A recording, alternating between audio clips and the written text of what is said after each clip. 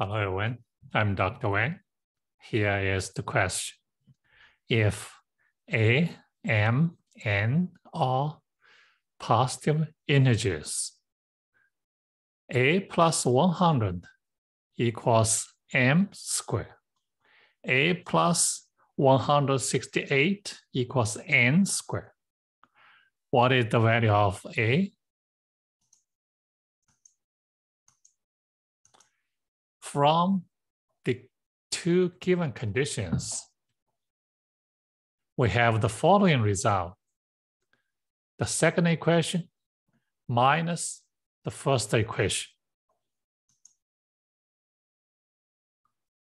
Simplify, we have n squared minus m squared equals 68.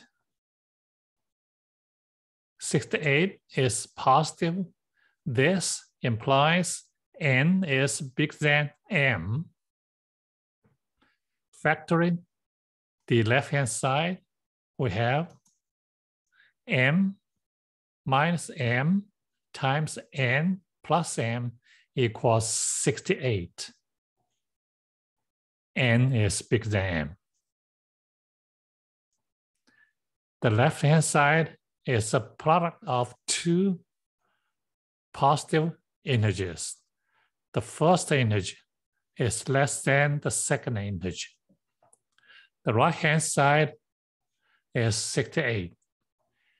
Possible combinations for the left-hand side are 1 times 68, 2 times 34, 4 times 17.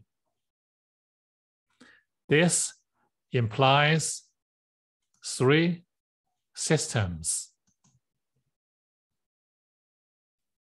For the first system, the first fact equals one, second fact equals 68.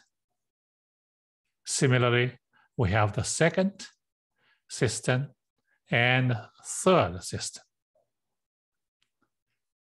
Solve three systems we have the following result. Only the middle system has a positive integer solution set, which is n equals 18, m equals 16. What is our question? We want to find the A. How to find A? We already have the result for n and m use the first given condition. Replace m by 16.